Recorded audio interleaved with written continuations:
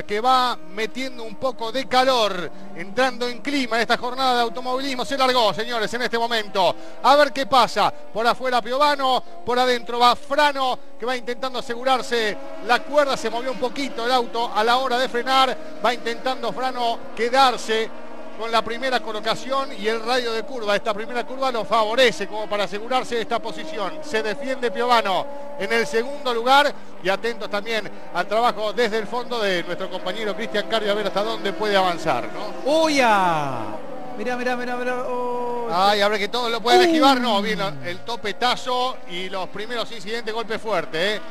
Golpe fuerte en este momento. En los primeros metros de carrera la, la competencia se va a neutralizar. ¿El auto de Gambarte?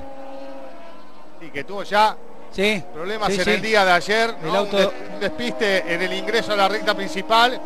Y también así complicado Alejandro Ponce, auto número 22, que lo embiste y que destruye toda la parte delantera derecha. ¿no? Aquí pareciera que el auto no tiene nada, pero lo ves del otro lado y te das cuenta del impacto. Ahí está, la rueda desprendida en su totalidad. Se baja sin problemas Ponce.